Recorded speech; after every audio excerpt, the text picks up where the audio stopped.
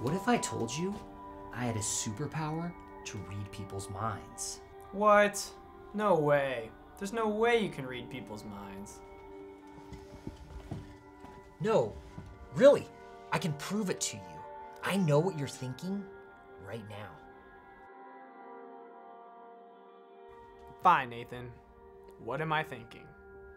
You're thinking about that one time when you were a kid on the roller coaster and you peed your pants on the third loop de loop. Oh my gosh! You can read my mind! We gotta. We gotta use these powers to help someone. Hmm, I don't know about that. What? Were you thinking about using your powers for evil things? Not necessarily. I was just thinking about maybe extorting some rich people or placing some guaranteed bets. What? That's not even in the question.